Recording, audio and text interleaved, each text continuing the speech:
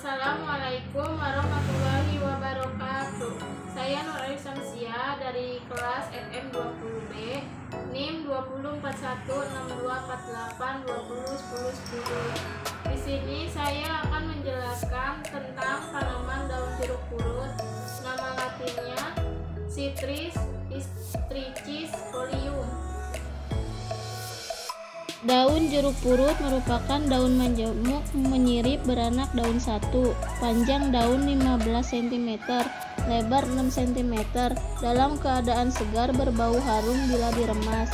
Permukaan atas daun agak mengkilat, permukaan bawah berwarna hijau muda atau hijau kekuningan. Buram. Kedua, permukaan licin, banyak bintik-bintik kecil jernih.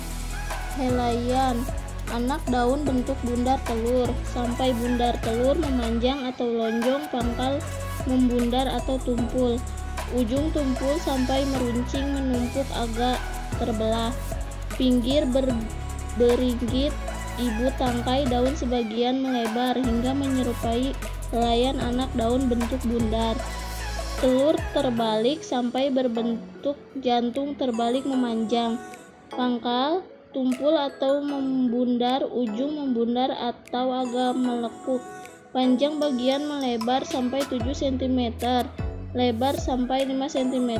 Panjang ibu tangkai yang melebar sampai 7 mm.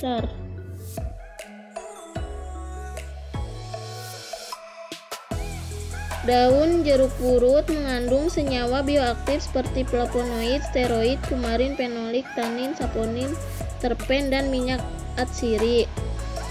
Khasiatnya memelihara kesehatan mulut, mengurangi peradangan, menciptakan suasana yang rileks, mempercepat penyembuhan sariawan. Terima kasih, sekian dari saya. Mohon maaf bila ada kesalahan. Wassalamualaikum warahmatullahi wabarakatuh.